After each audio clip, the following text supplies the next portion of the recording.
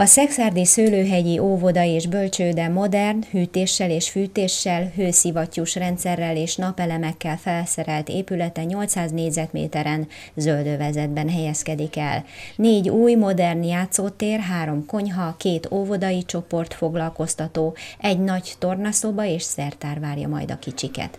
A kivitelezők ültettek továbbá 770 darab cserjét és 16 új fát is.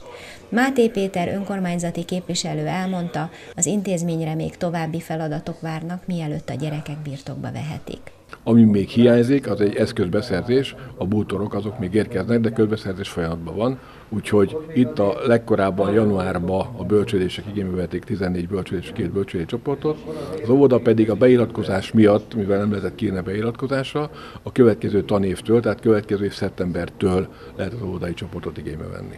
Hollandusné Bíró Anett kiemelte, maximálisan elégedett az elvégzett munkával, amely nem csak a város, de a Vármegye egyik legkorszerűbb létesítményeként minden szakmai és szülői elvárást kielégít majd. A városnak ezen a területén nagyjából nem sok infrastruktúrális lehetőség van, és nagyon-nagyon hiányzott ez a, az épületkomplexum. Nagyon sok fiatal él és költözik ide a városnak erre a részére, illetve lakható tanyákat újítanak fel, és nagyon fontos az, hogy itt is legyen egy olyan közintézmény a városnak, hogy ne kelljen mindenkinek a városközpontba vagy a város másik végére hordani a gyermekét.